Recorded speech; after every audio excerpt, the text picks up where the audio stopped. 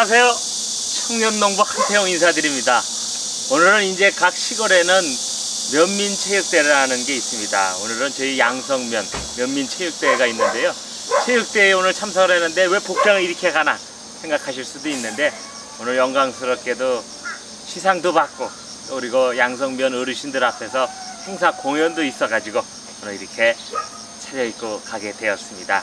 오늘 한번 양성 면민 체육대회에서 대농이 분들도 한번 시골의 체육대회는 어떤가 한번 보여드리겠습니다. 가보시죠. 다시 한번 안내 말씀드립니다. 오늘 수상자분들께서는 본부로 앞으로 나와주시기 바랍니다.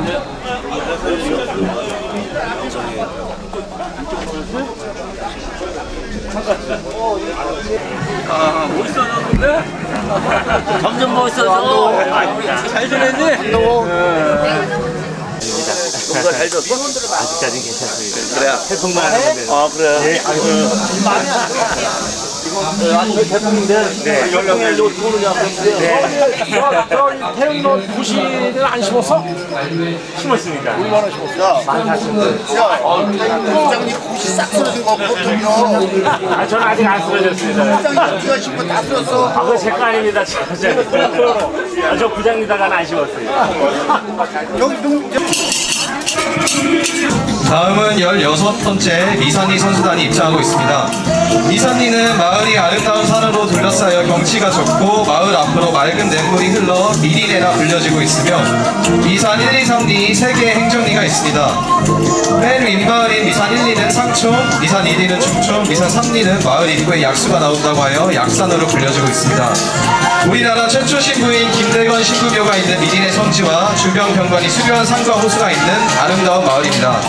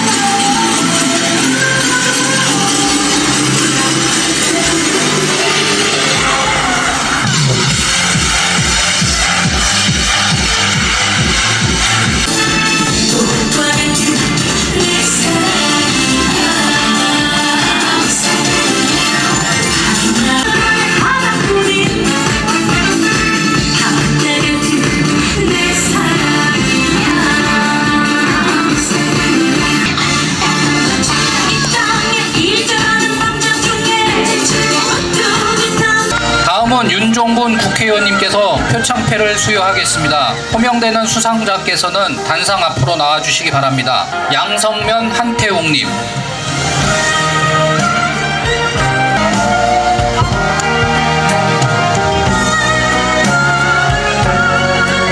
표창패 양성면 한태웅 표창 문화는 정과 같습니다. 2024년 8월 24일 국회의원 윤종군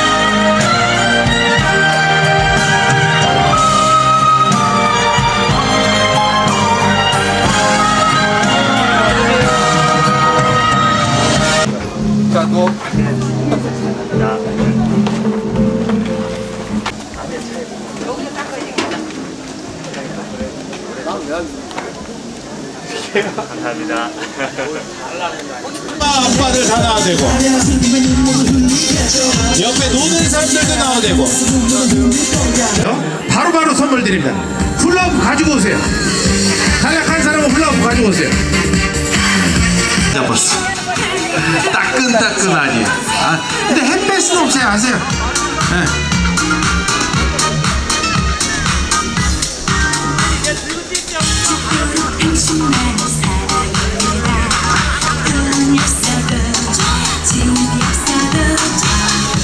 하지만 그래도 어르신들을 위해서 많이 많이 준비했으니까 꼭 참가하셔서 하나씩 꼭 받아가셨으면 좋겠습니다.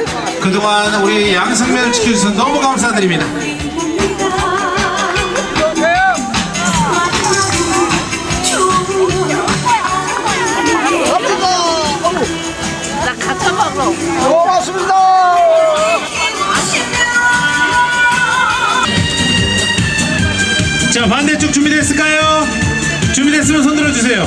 오케이 준비.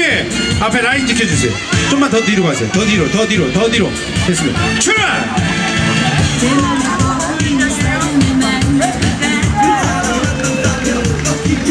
분여장님들 열심히 뛰고 있습니다.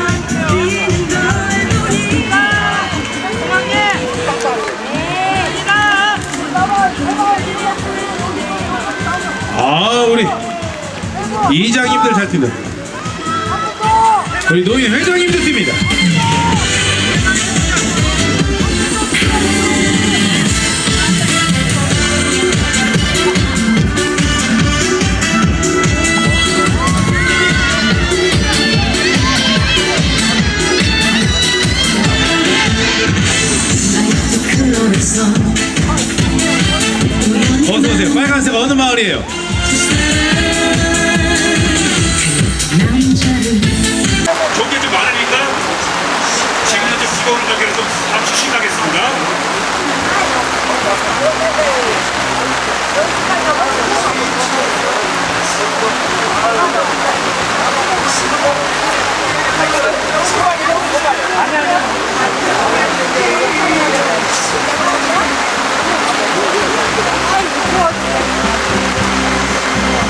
마을 분들과 맛있는 거 먹으면서 또 이따 선물도 좀 받아가시고 좋은 공연 보시면 더 좋을 것 같습니다. 이럴 때 우리 마을끼리 건배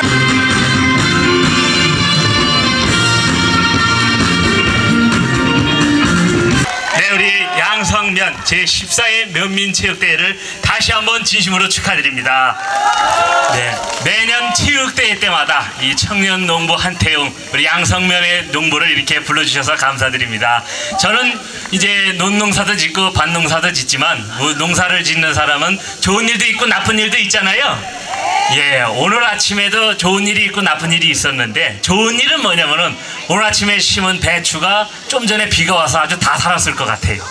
네, 근데 조금 안 좋은 일은 뭐냐면은 아침에 논두렁에 가서 지 주제를 줬는데 비가 와서 지금 찝찝합니다. 예, 이 농사를 짓다 보면 이런 일이 있, 있는데 오늘 그 즐거운 기분, 안 좋은 기분을 연민체육대회에서 이렇게 풀게 되었습니다. 네, 이번에 들려드릴 곡은 KBS 아침마당에서 저에게 노래를 만들어 주셨습니다.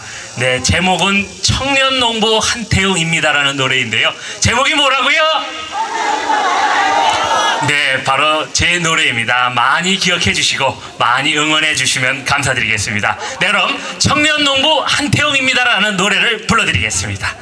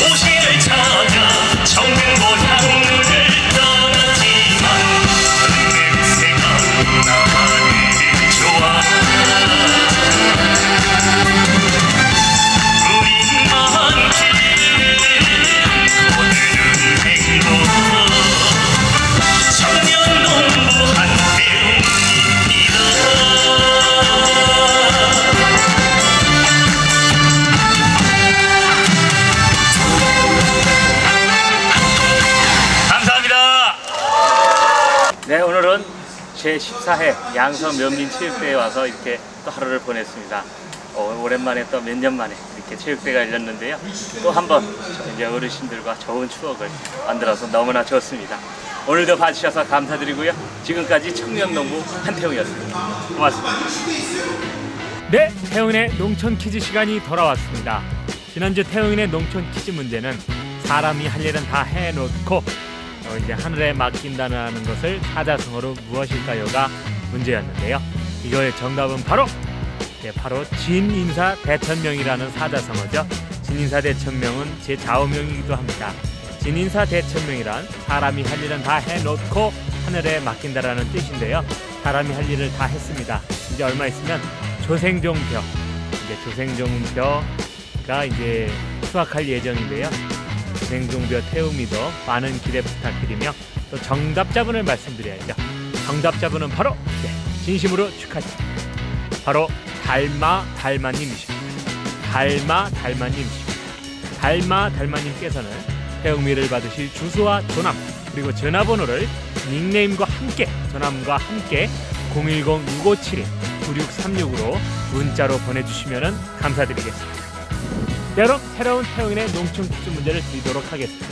지금 이 뒤에 있는 벼들은 조생종 벼입니다. 조생종 벼이기도 하지만은 이 조생종 벼는 어 이제 여름에 비기 때문에 어 크게 비는 절기가 따로 없는데 일반 벼, 그러니까 중만생종이죠. 10월이 넘어서 비는 벼는 이맘때 벼야 이 수분도 안 나오고 벼가 이 건조도 빨리 됩니다.